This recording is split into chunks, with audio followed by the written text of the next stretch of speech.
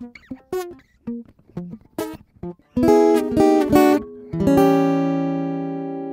wunderschönen guten Abend heute zur elften Folge des Notizblog. Und mir ist vorhin was total Blödes passiert. Ich war gerade mitten dabei, die elfte Folge zu filmen und da ging der Akku der Kamera aus und die Kamera hat nicht mehr mitgemacht. Blöde gelaufen, aber es soll nicht daran scheitern, dass heute eine Folge rauskommt. Dementsprechend jetzt ein bisschen spontan gibt es heute eine Audiofolge und zwar den ersten Teil einer zweiteiligen äh, Audio, eines zweiteiligen Hörkrimis, Mini-Mini-Krimi. Und ähm, mal sehen, ob es den zweiten Teil dann schon morgen gibt oder ob ich damit noch ein bisschen warte, bis wieder so ein Notfall kommt. Auf jeden Fall jetzt die erste Folge von Rosis Hotel. Viel Spaß. Bis morgen. 1407. Die Zimmernummer hing in mattgoldenen Lettern schräg an der dunklen Holztür. Aus Gold war sie sicher nicht. An manchen Stellen begann das Metall schon zu rosten. Thomas Hauptner warf einen Blick auf die Türklinke. Auch sie war aus dem gleichen mattgoldenen Material wie die Zimmernummer. Er steckte den altmodischen Schlüssel mit Bart ins Schloss und drehte ihn herum. Das Schloss klemmte. War ja auch nicht anders zu erwarten, dachte Hauptner und zog an der Tür. Das Schloss knackte laut und der Schlüssel sprang herum. Herzlich willkommen in Rosis Hotel.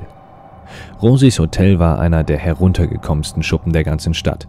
Direkt an den Bahngleisen am Rande Lüneburgs schien es das einzige Haus zu sein, das schon lange vor dem Ersten Weltkrieg dort gestanden hatte. Nur war es nicht aufwendig renoviert worden, es moderte vor sich hin.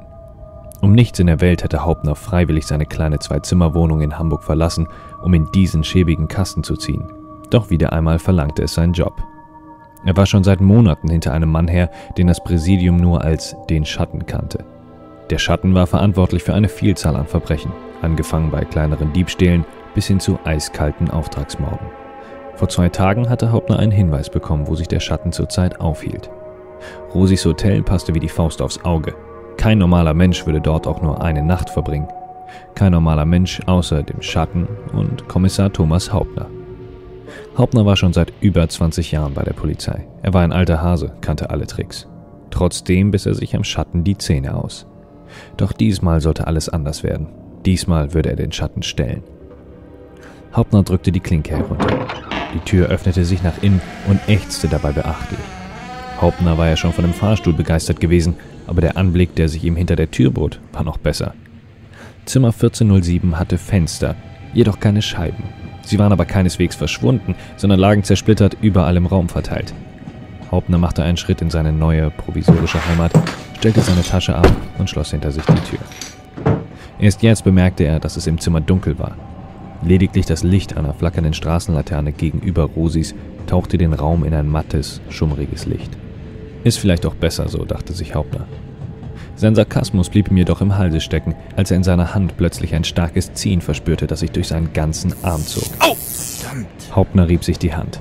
Der Elektriker hatte offensichtlich keinen Lichtschalter verbaut und es auch versäumt, die blanken Kabel an der Wand in eine Steckdose zu verschrauben.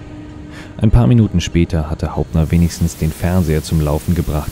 Der empfing zwar kein Programm, aber sein schwarz-weiß rauschendes Bild warf zumindest etwas mehr Licht ins Zimmer. Hauptner trat vorsichtig durch die Scherben zum Bett. Selbiges hatte sicherlich auch schon bessere Zeiten erlebt. Es quietschte so laut, dass Schlafen vermutlich zu einer Unmöglichkeit werden würde, und die Drahtfedern in der modrigen Matratze bohrten sich tief in seinen Rücken.